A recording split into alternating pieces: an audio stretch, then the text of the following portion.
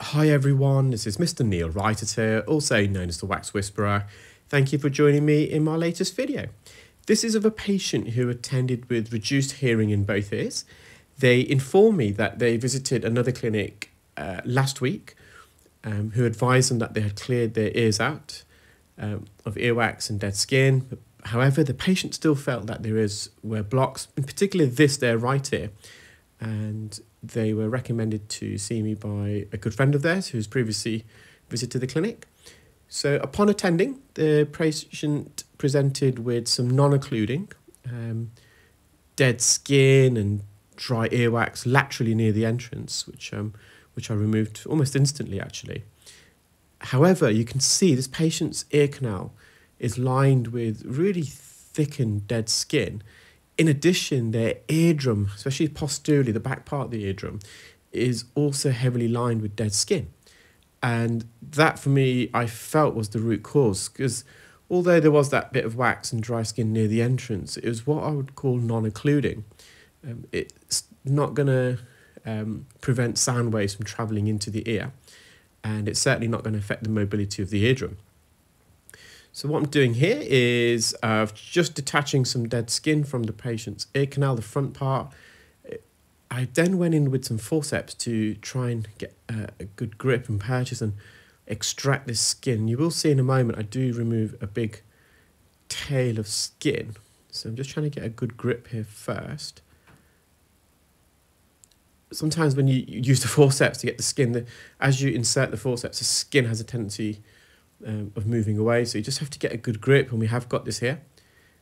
I've just brought this to the entrance and I'm just now going to just wriggle the forceps left to right and you can see there's a thick layer of skin there. If you watch till the end of the video, I've got a, a still image of that. During that process, I did manage to release some of this dead skin off the patient's eardrum, but there's still quite a lot left. So we're going to have to go back in a moment and remove that. The patient is a um, in their 90s. And as we get older, we're more prone to developing dead skin in the ear, um, skin that fails to migrate, and a lot more dry skin. And that's because as we do get older, our skin cells are less able to retain fluid. Um, therefore, the skin dries out. And when you've got dry skin in the ear, uh, there's a lot more friction.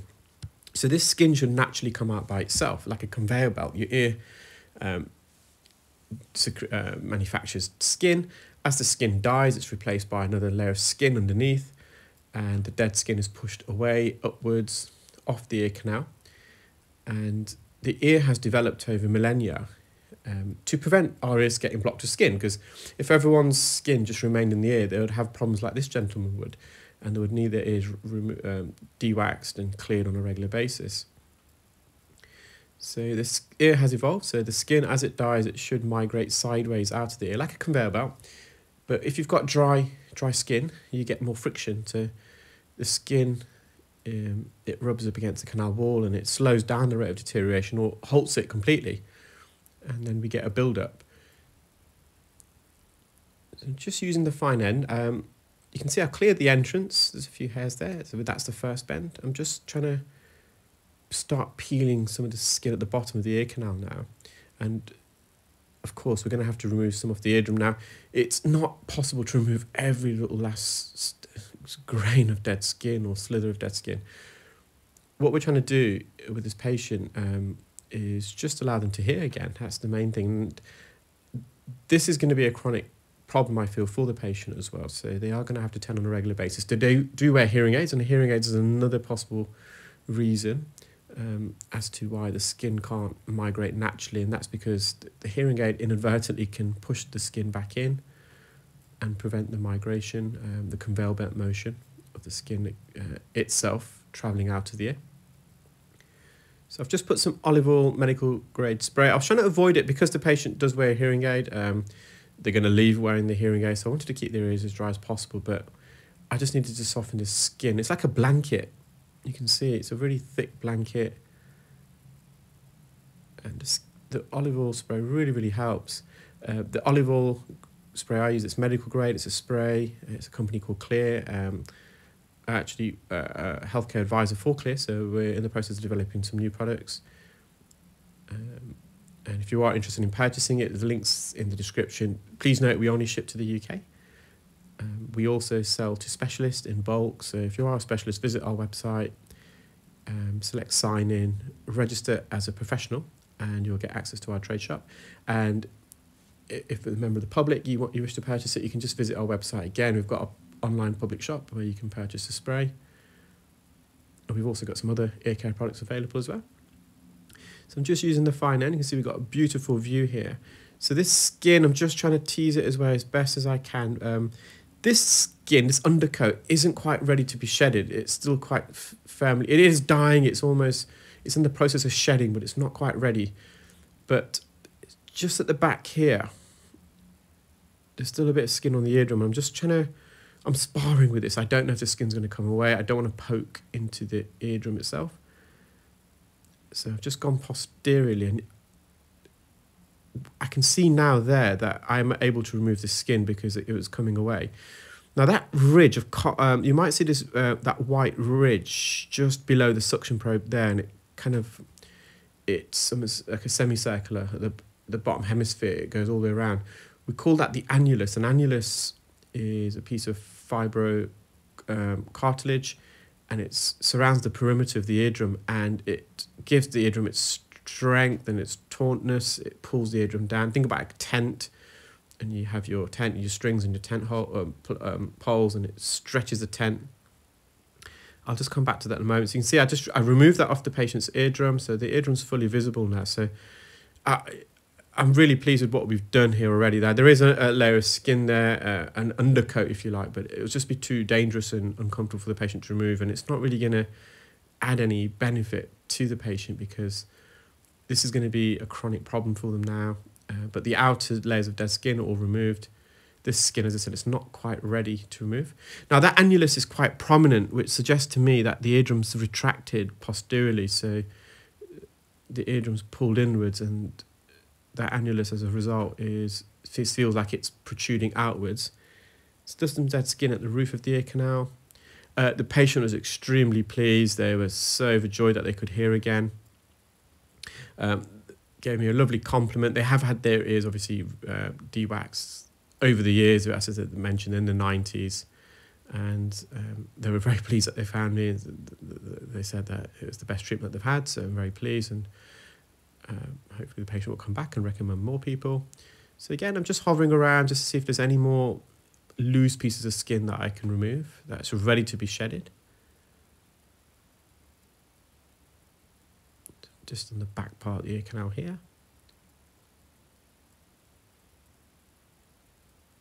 And there's just some crusted dead skin more laterally near the entrance, but just past the first bend here on the back part of the ear canal, you can see all those hairs. So these hairs, uh, when you see the hairs, you know you're, we're on the uh, outer third of the ear canal, the cartilaginous portion. That's where the hair follicles are. You don't find hair follicles on the bony part of the ear canal, the inner two thirds. So that's the patient's eardrum. Um, just think, I think I'm just going to go back just to see if I can, this comes away. And see it just, just not ready to be peeled, so we don't want to push our luck. I've just bent the fine end suction probe there as well, just to give myself a better angle. But the eardrum's fully visible.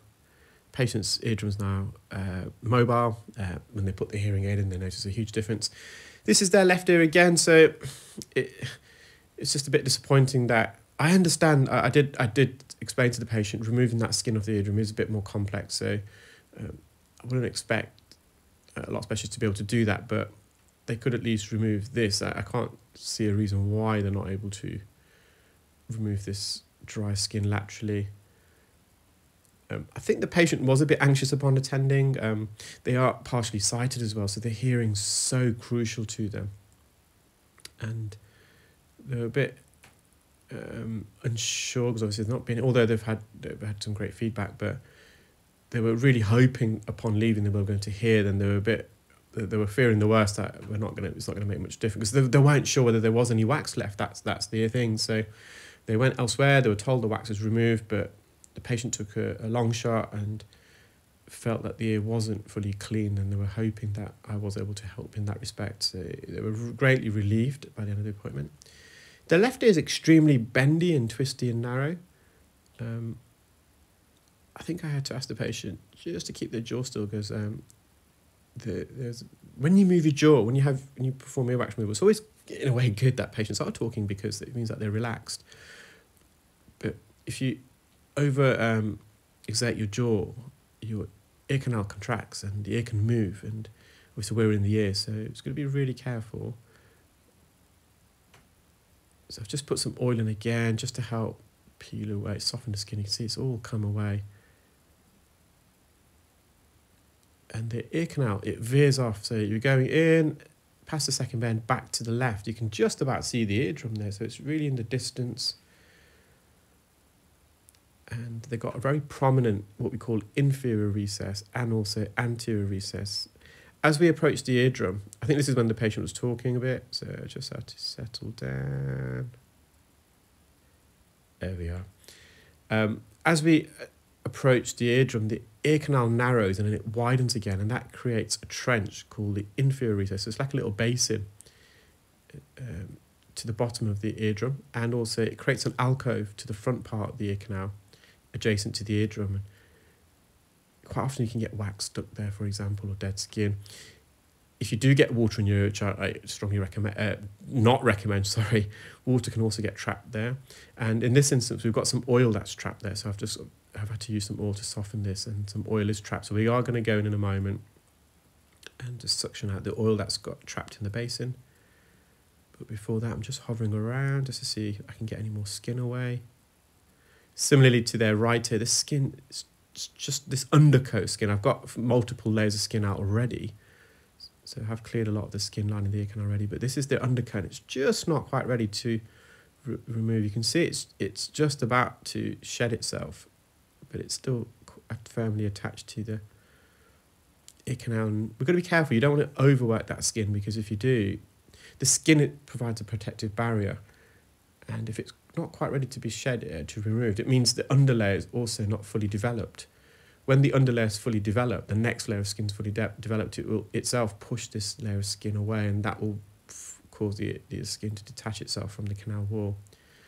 So if you remove dead skin or dying skin, so this is more dying, it's not quite dead yet, before its time, there's the the ear canal is more exposed. You don't have that protective layer, so you've got to be careful. I'm just mopping up near the entrance now. I think I've got that oil away from from the eardrum too. That's the eardrum, so it's intact. There's no dead skin on the eardrum, which is great. Again, they could hear much better. There's just a little bit of oil there.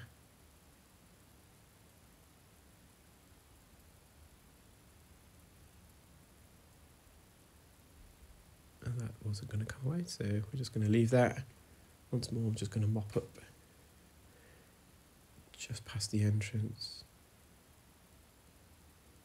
There's a bit of a blind spot when we enter our ears to the rear, so in the case of this, the left ear, to the right hand side there can sometimes be a blind spot and you can get pieces of wax and dead skin hiding away. So just entered that blind spot. I'm just gently hovering over. This is the cartilage portion, so here we can apply a bit of pressure. I would, wouldn't have dreamt doing that on the bony part. And that's that piece of skin from the first right here, the large piece of skin that I removed using forceps. You can just see how thick it is. I hope you enjoyed that video, guys, and you're taking care and keeping well. Do stay tuned. I've got loads more videos to upload in due course. Thank you. Bye.